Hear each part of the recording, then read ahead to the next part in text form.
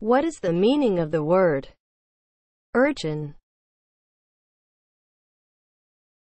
as a noun? Poor and often mischievous city child. Urchin is spelled U R C H I N. Urchin